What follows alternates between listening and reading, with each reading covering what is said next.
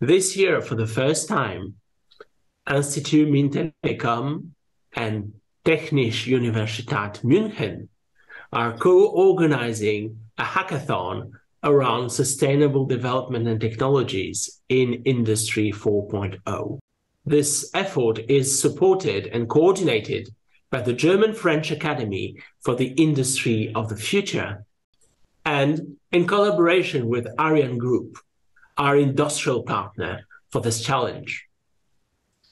Ariane Group will provide a novel and challenging data set regarding energy consumption in smart buildings and 10 teams of six students, three French students and three German students, French students from five schools of the Institut Mines Télécom throughout France, and students from the Munich data science curriculum.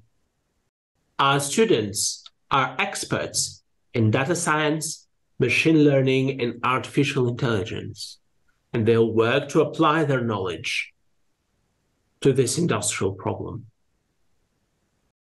Those teams will work three days and three nights on this very challenging problem to provide impactful, innovative, and creative solutions. Most hackathons require participating teams to beat some sort of benchmark or metric, achieve the best score. But here in our Green Hack IT, since the objective is sustainable development, we will emphasize the efficiency of the models beyond performance and beyond anything else, meaning that the teams will have to be very creative in producing the approaches and the models that consume the least energy, the least time, and that are the most ecologically friendly. The work will be evaluated by a jury composed of both academics, researchers, and professors, representatives from GFA and our respective institutions, as well as representatives from Ariane Group.